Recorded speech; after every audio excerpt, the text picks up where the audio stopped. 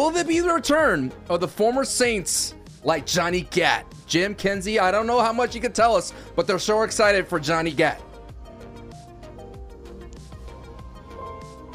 Kenzie, you want that one? Uh, so at the moment, there uh, we are not planning the return at this current moment, but we have plenty of new characters that you can interact with and you can uh, talk to. And even though the old characters won't be there, uh, we've worked really hard to really build on the diversity of the new characters. You have Neenah, who is this muscle.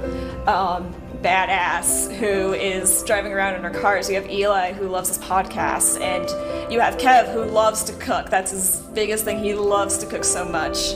And even though they're not going to be back, I really love what we've built with the new characters, and I think that there's going to be so much for players that uh, will love. He loves to cook so much. And Get the fuck away from my friends.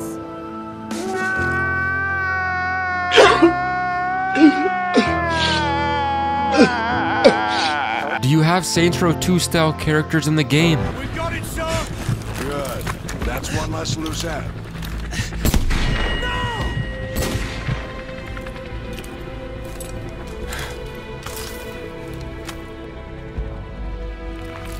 Area is sanitized. All targets destroyed. Solid copy.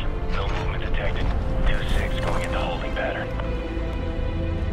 So some new Saints Row gameplay has dropped, and along with the community, your boy RPG is well confused. You see, the gameplay they showed today looks awesome. Good graphics, gunplay looks good, the map looks outstanding, but people are simply confused about the characters in the game. I made a video yesterday explaining what I saw at my exclusive gameplay session at the Deep Silver Creative Collectors event, and the video that they uploaded today was a lot different from what I saw yesterday. I'm just very confused as to why they didn't upload the video I saw yesterday as it covered a lot more ground in terms of things you can do in the game. They teased the wingsuit, the customization, and thoroughly took a look at the new Customize the City feature where you can buy businesses, hire managers, and run those businesses to make money slash do unique missions for certain businesses that you build. You can kind of see it here because he built the Toxic Waste Depot, now he has some toxic waste missions around the city. This is by far the coolest features I've ever seen in a game, and they didn't even go over it in today's video. They also showed off some unique districts of the map alongside with some visual representation in game of what they look like. Again, this video I was shown yesterday should have 110% been shown today instead of what they uploaded. Don't get me wrong, the video they put out today wasn't bad at all, but if they had just shown what I saw yesterday and its plethora of things to do in the game to the people, I believe the public would have changed their opinions even more on the game. I noticed a lot more positive comments this time around, which is good. People are starting to realize gameplay and customization is something I'll never doubt Volition's ability in. However, after AOM, I had concerns that their character development had gone astray. Long gone are the days where we see cutscenes that arguably are more powerful than anything I've seen in Hollywood movies.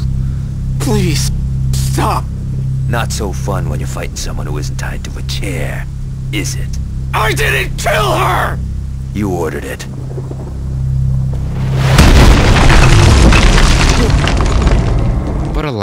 Here comes Saints Row 2022 for some all new characters. I can't wait to see what they, well, maybe, or sometimes my absolute biggest concern for this game is its characters. Eli is the planner and an entrepreneur that handles numbers, so that doesn't sound that bad when you think about it. Neenah is all about family and is the best driver in town. Okay, so she has potential too, I guess. Kevin, don't get me started on Kevin. In fact, I won't even talk about him. I'll let Volition do the talking. Kevin is shirtless. I don't know why. Kev wants to be a TV chef.